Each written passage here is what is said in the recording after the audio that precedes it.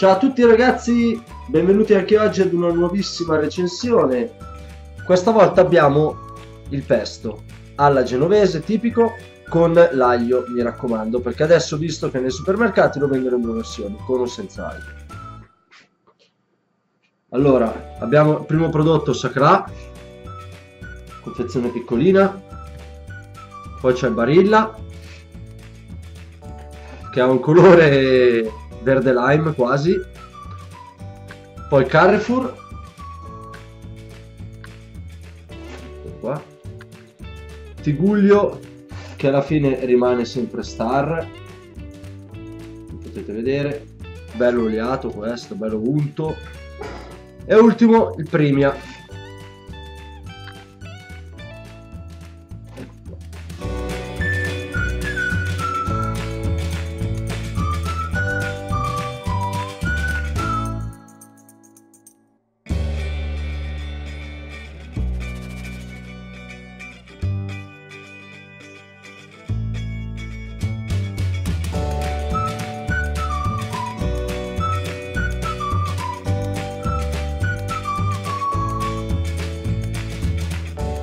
Partiamo al momento dell'assaggio.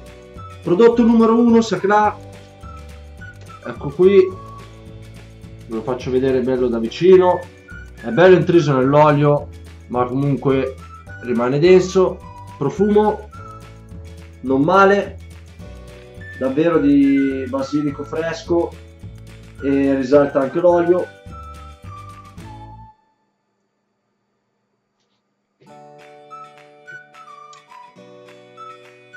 Per i miei gusti, sinceramente, è un po' troppo salatino.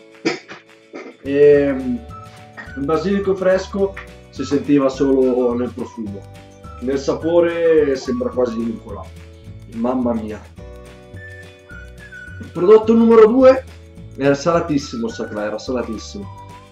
Il prodotto numero 2, Barilla, da un colore boh verdino super chiaro, sembra che ci sia dentro della panna, molto molto denso da come potete vedere.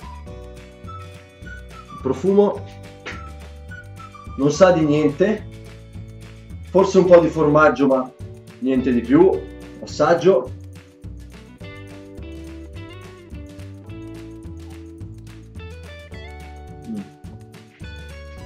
Anche in questo caso è super salato a differenza dell'altro nemmeno si sente un sapore di, di, di erba, di, di, niente proprio.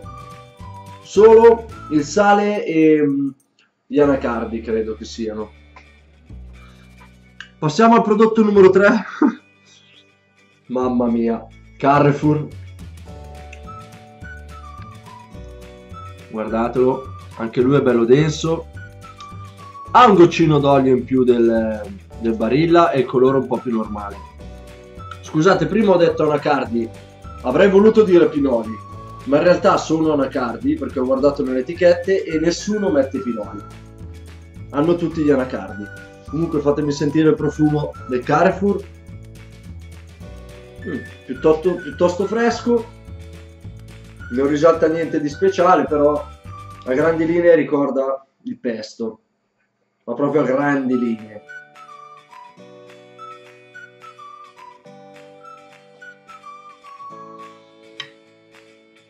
È amaro, salato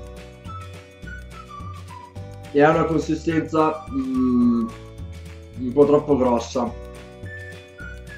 Boh, non è ben, ehm, ben mischiato, diciamo.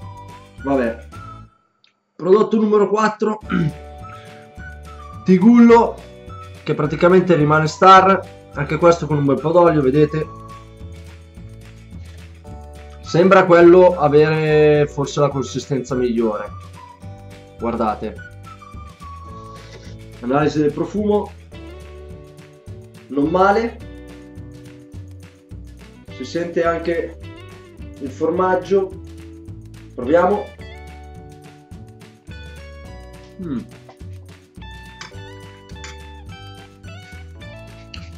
Troppo formaggio e il sapore del basilico anche in questo caso è inesistente, non si sente proprio per niente. mamma mia. Prodotto numero 5 e comincio ad averne un po' piene le scatole di questo schifo. Speriamo in meglio ora. Primia. Sembra un passato di verdura. La consistenza è buona, dopo tutto. Sì, forse avrei preferito un po' più grossolano, però vabbè. Profumo. Mi ricorda l'olio di colza. O comunque una fine. Facciamo un assaggio.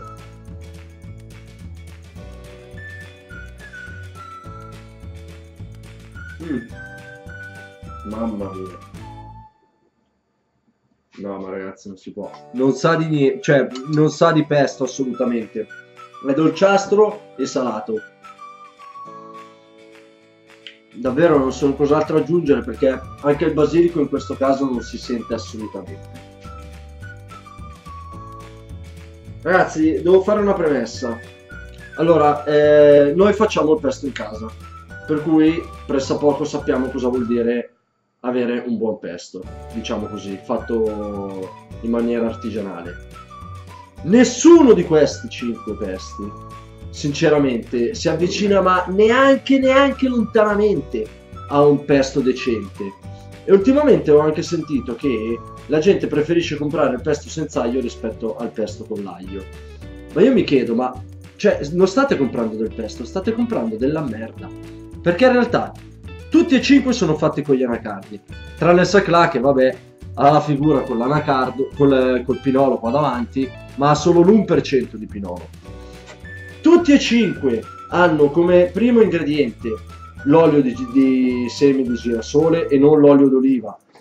In alcuni casi, come per esempio il tiguglio qua, c'è scritto che c'è un'aggiunta, ma è tipo una piccola percentuale. Per cui queste sono, potrei definirle delle salse con eh, decifrata eh, erba aromatica all'interno, perché sinceramente io del basilico ho sentito ben poco. E pensate che questo, il Primia, dicono sia fatto con pesto DOP. Pensate che spreco, perché sinceramente è uno schifo totale. Questo addirittura c'è stato chi non ha voluto neanche provarlo. Ad esempio la regia, vabbè. Comunque, tra questi 5 l'unico mangiabile per consistenza, profumo, tutto quanto, comunque l'unico che non fa vomitare è il Saclar. Sarà merito di quell'1% di Pinoli, non lo so. Forse hanno fatto la scelta giusta.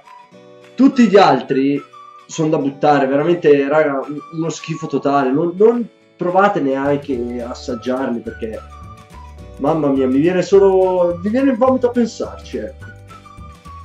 Anche per oggi è tutto, ragazzi. Se il video vi è piaciuto, come al solito, un bel pollicione, un giga pollicione in su. Se avete dei suggerimenti, dei commenti, scriveteli sotto al video, come vi dico sempre. Condividete a tutti quanti e fateci conoscere ai vostri amici. Ci, ci vediamo la settimana prossima con qualcosa di un po' più rinfrescante, grazie a Dio. Questa volta saranno cedrate. Ciao dal testatore.